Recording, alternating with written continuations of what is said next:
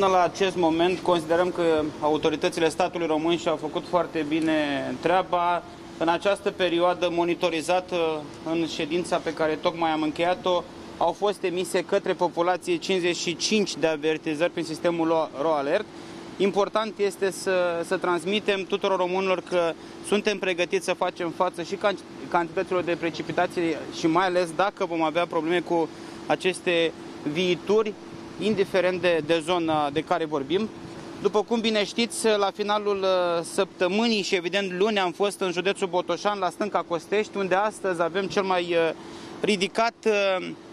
potențial de a avea cantități însemnate de apă provenite din Ucraina. Trebuie menționat faptul că astăzi în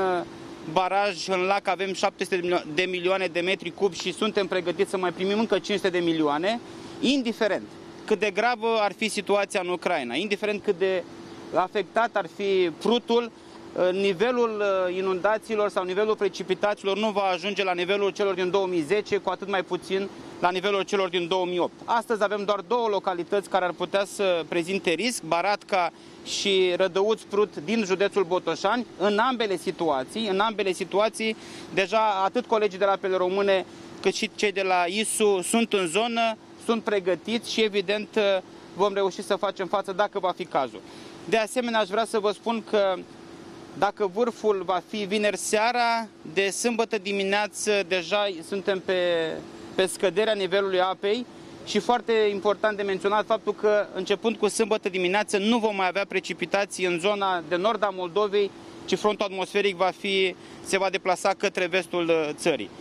De asemenea, aș vrea să menționez că la nivel de țară, indiferent de bazonii hidrografic de care vorbim, suntem pregătiți și cu saci și cu uh, panouri astfel încât să facem față. Trebuie menționat și trebuie liniștită populația. Chiar și în acest moment avem trei coduri roșii,